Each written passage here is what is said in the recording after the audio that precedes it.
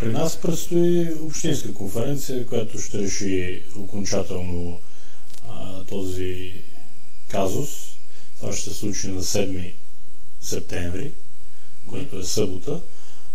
Текат събрания номинационни, които номинират кандидати за кметове на кметства, кандидати за общински съветници кандидати за общински кмет. Тези данни всичките се обобщават и след това чрез тайно гласуване Общинската конференция а, утвърждава кандидатите за даденото населено място, както и за общински кмет. Към момента има 10 номинации за а, кмет на община Видим, които са най-разнообразни, от а, силно партийни кандидатури до такива, които са по-скоро граждански. А, да. Бихте ли споменали някакви? Еми, от партиите мога да ви кажа. Да. А, номиниран е Людмил Димитров, Филип Попов също е номиниран, аз съм номиниран, колкото и наскромно да, аз съм с най-много номинации до момента. А, от гражданите също има някои интересни кандидатури, които може би по-добре да ги запазим за сега в а, тайна, да. Може би на седми, като излезат резултат от гласуването, тогава ще... Ще ви поканим отново тогава. Наистина е интересно. Да. Вие имате най-много номинации. Това а, как ви се струва а, а, бихте ли се пуснали в подобно предизвикателство? Всичко зависи от а, централното ръководство на партията и от а, местната структура на партията.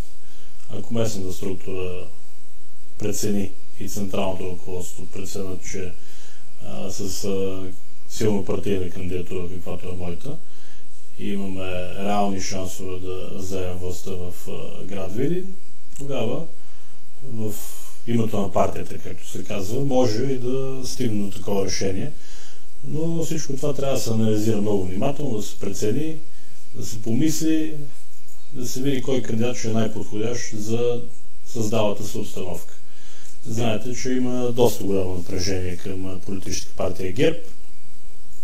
Предвид а, цялостното творчество, което наблюдаваме последните близо 4 години. Казвате цялото творчество. Точно това исках да ви питам сега. На финала сме на управлението.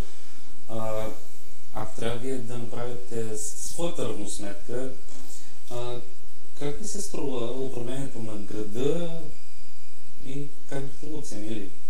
Ми, имаше и някои позитивни неща, които се направиха, като например това, че които ние ги подкрепихме, разбира се, създава се общинско звено по охрана, което функционира вече добре, не се източват пари през частни фирми, това е хубаво за общината, мисля, че се спестяват и едни немалки суми финансови. А, на следващото място звеното, по, което се занимава с осветлението на град Видин, вече функционира. Радваме се за това. Вече общинско не се налага частни фирми отново да източват пари през това звено. Но останаха и редица проблеми, които не са решени, като сметосъбиране и сметоизвозване, като озеленяване. По над милион на година заминава за всяка една от тези дейности.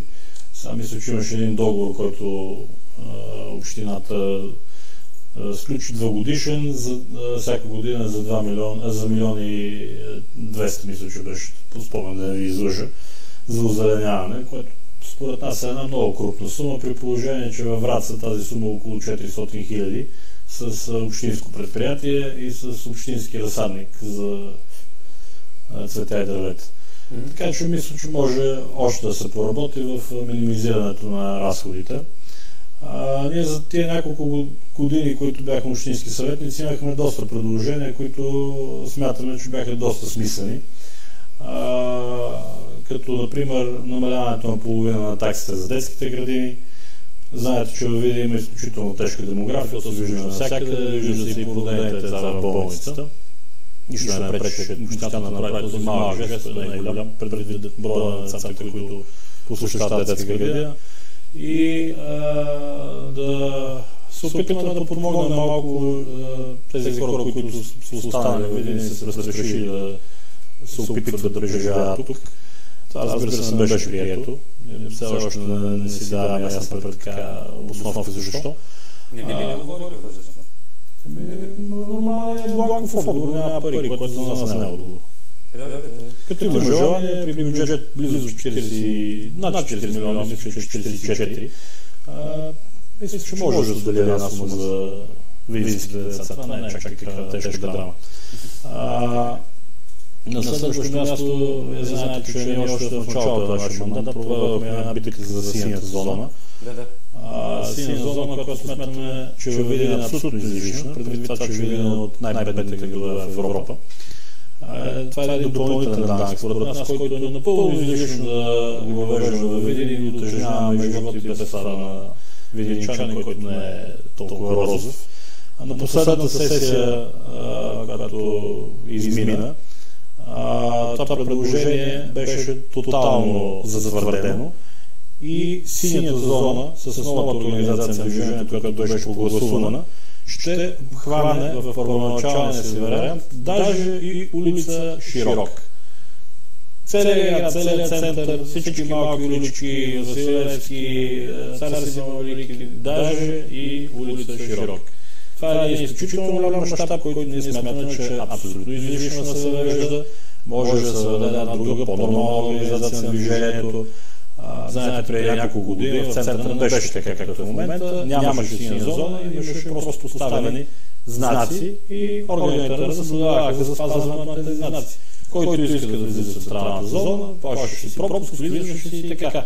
И нямаше такъв проблем с паркиране, с придвижване на хората и така. В момента е хаос, въпреки наличието на някаква синя зона, защото в момента също има зона за паркиране. Но това не решава проблемите, то се вижда ясно.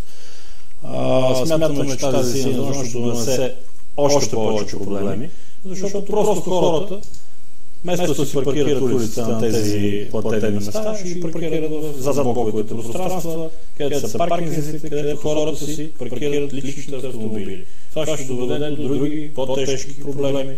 Хората няма да има живеещи в блоковете, където си паркират автомобилите.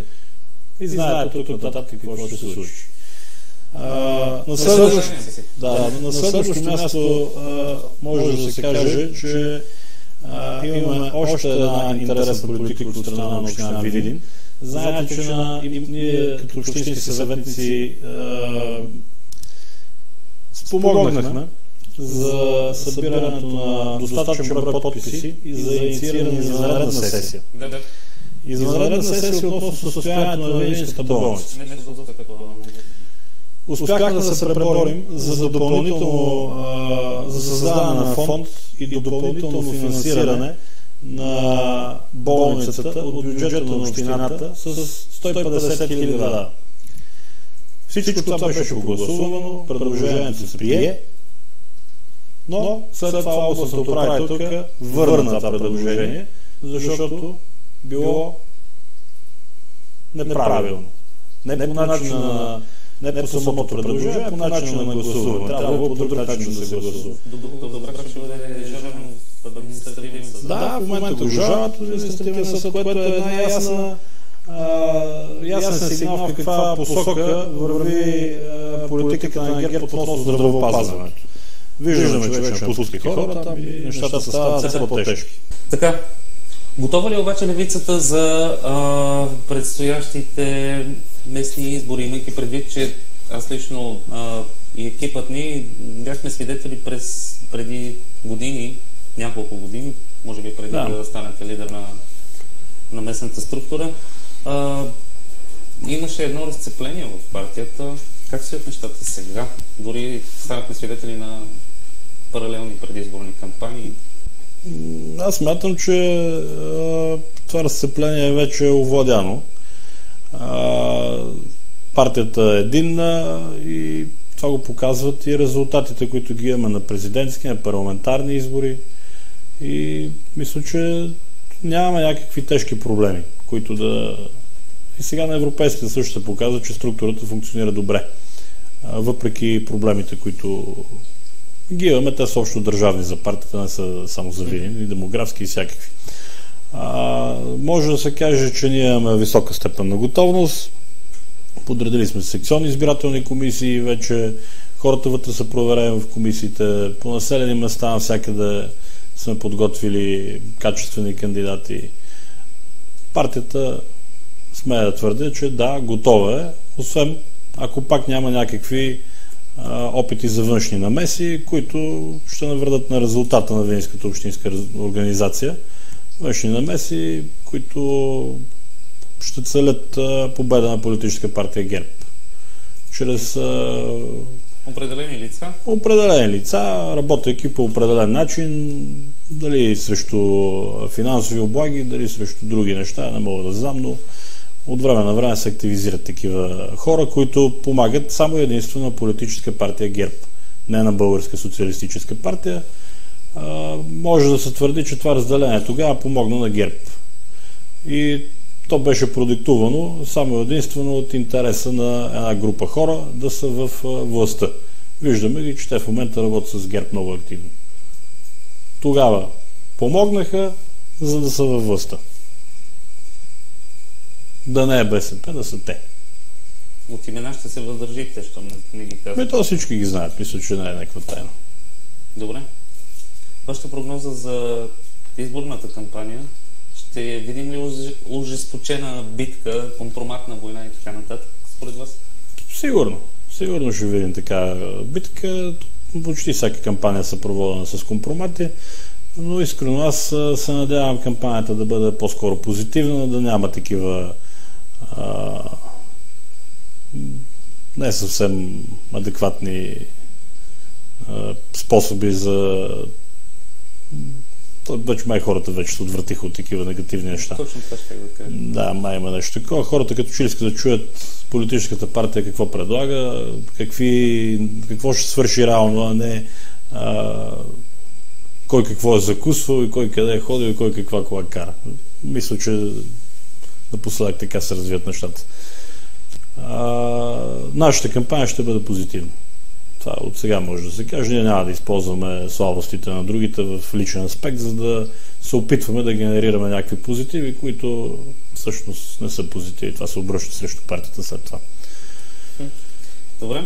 Кампанията ще бъде битка на политики с нашите опоненти. Те дали не... ще го разберат обаче? Еми, надявам се гражданите да разберат. Добре. Успех ви желая в това начинание и Благодаря. надявам се, ако решите все пак да се пуснете преди изборната битка, отново да ви поканим тук, за да ви разпитаме това това, ако, както се казва. Ако не кандидатът, който ще поеме тая тежка, да, бе. този тежък товар, той ще гостува. Добре. Димитър Да. Велков ни беше на гости с интересна информация около предстоящите местни избори.